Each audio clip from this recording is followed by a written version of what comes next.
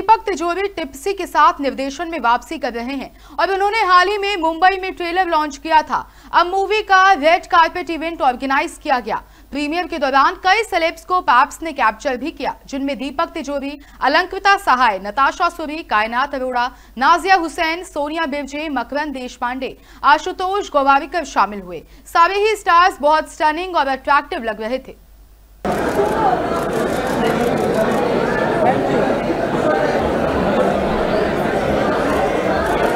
على بلوكيا لوكيا لوكيا